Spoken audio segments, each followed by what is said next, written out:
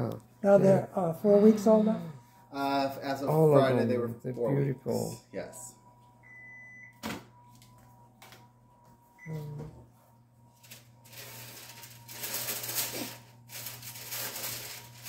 Which one were you looking for? A girl. A girl. A goyle. Okay, a goyle.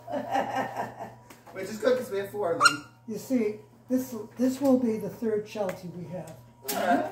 Um, my husband is the one who had the Shelties first. I had cats. Cats. I'm a cat person. So, uh, Do you have Yes, sir. Ellie's picture? oh,